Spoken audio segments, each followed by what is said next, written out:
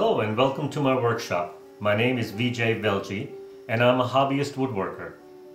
I'm also the owner of a small web-based business called Shellac Finishes.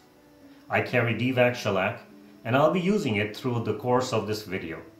Today I will demystify French polishing. I will take you through a step-by-step -step process and show you how easy it is to obtain a fantastic and durable finish. And if I can do it, so can you. For this video, I will demonstrate French polishing on this beautiful Baltimore card table that belongs to my friend Bill. As you can see, the table is dry assembled. This will make it easy for me to finish the individual parts before final assembly.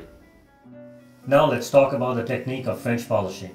To make it simple, I have divided the process into four segments. The preparation of the surface is just as important as the finishing process. There are no shortcuts here. Now that the surface is well prepared, we move to the next step, pore filling. Since our tabletop is mahogany, which is an open pored wood, we need to fill the pores to get a flat surface to lay the shellac down. Let's move on to the next segment, bodying.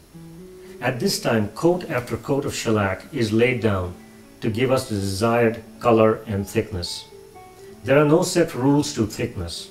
What is most important is that the shellac is laid down in very thin and even coats. As you can see, the surface has an even layer of shellac, although it still does not have the mirror finish. This final process will help us achieve that goal. This requires elbow grease and plenty of patience. Burnishing is required to stretch the shellac evenly over the surface to get the final mirror finish.